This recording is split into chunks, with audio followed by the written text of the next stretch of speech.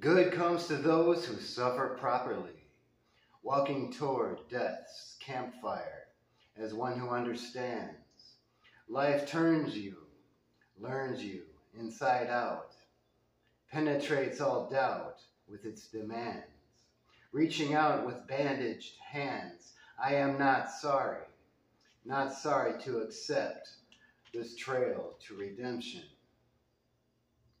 A former artist of excuses, I now untie these perfect nooses, so that I may be one who chooses the eternity of now.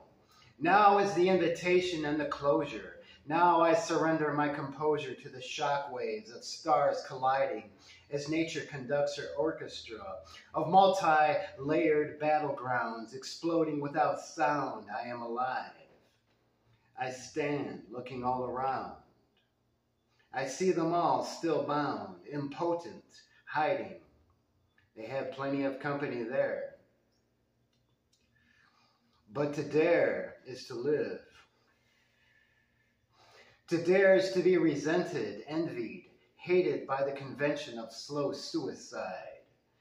With all its willing participants, aiming their phones at the next QR code, deep in their programmed mode, waiting alongside the road for their appointed driverless taxi, contactless, safe from your fellow human soul, sheltered by the synthetic call of anti-nature, with a robot blow-up doll, you make love without danger. Hmm. Tomorrow you'll have a nice Brady Bunch style Zoom chat, bonding with friends who know where it's at. The lines on their faces appear to be looser, since they've all gotten their 19th booster.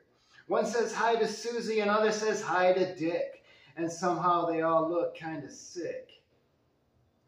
But thank God they haven't been tricked by misinformation. I feel the need for a long vacation, but I'll settle for two days off. The lure of stagnation bubbles like a latte froth, but that temptation has long since worn off. I stretch and I cough and light my American spirit with a black cup of coffee, mix the hard with a little soft. Time to get on with it.